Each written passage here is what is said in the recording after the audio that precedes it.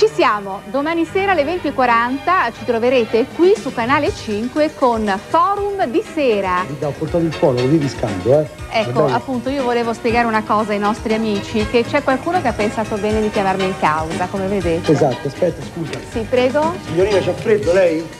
Eh? Sta meglio No, così? dunque io, scusi, mi rivolgo anzi alla signora dalla chiesa. Sì? Non penserà certo che finirà tutto a taralluce e vino, credo, no? Le comunico che A. Mi appellerò alla Convenzione di Ginevra. B. Ad Amnesty International. C. A WWF e forse anche al telefono azzurro. Ecco, Scusi, signorina Andra. dico solo questo. Lei a chi pensa di far paura? No, no, no, ma niente, vediamo poi, no? Ci vediamo, io non faccio paura a nessuno, vediamo. eh. Non pensi che finisca a personificato, taralluce e no? vino? Io mi sono impressionificata. Non credo. Ma figuriamoci, io do soltanto appuntamento ai nostri amici domani sera alle 20.40 su Canale va bene. 5 per Forum di Sera. Faccia, faccia pure.